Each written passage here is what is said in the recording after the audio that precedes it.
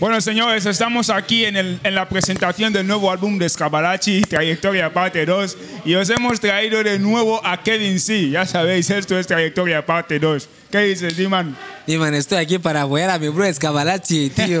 Escabalachi ha hecho un álbum Trayectoria parte 2 y aquí 16 estoy. canciones, ¿has escuchado alguna? Creo que tu nombre está en, el tracklist, ¿no? Estoy en el tracklist. Ahí está Estoy, tu cámara, tú sí, estás sí. ahí.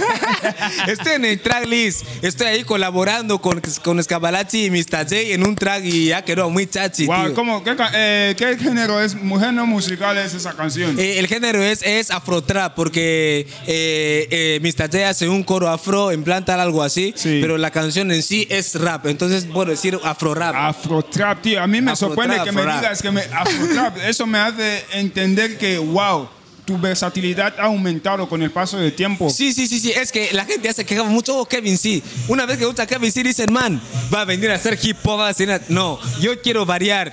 Y, y fíjate que en la canción que tú y, tú y yo y molamos, Ajá. he hecho un drill y luego aquí he hecho un trap y luego tal. Entonces, Kevin C está para hacer todo lo que le traigan. Wow, tío, tío, tío. A mí me encanta bastante porque como ya te dije en la primera entrevista que hicimos, Sí. al principio yo tenía mis dudas, pero con el paso del tiempo me he convencido que Kevin C de verdad tiene lo que hay que tener. ¿Y qué otra canción de este álbum te ha llamado la atención? Bueno, la canción que a mí me llamó la atención es una canción que tiene con doble M, Sí. eh, mi madrastra. Sí. Y sí, y se expresó demasiado dentro de esa canción y, a mí me, y a mí me gusta. Entonces, eh, el álbum de Escabalachi es muy bueno y la gente a cliquear, a, a comprar Vale, los yo te CDs, voy a eso. pedir que hagas una cosa que no, no se le he pedido a nadie.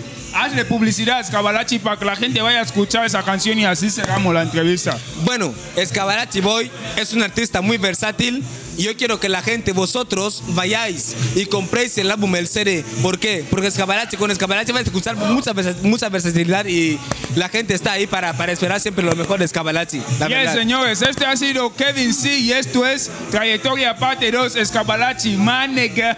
Enemy, rest in peace.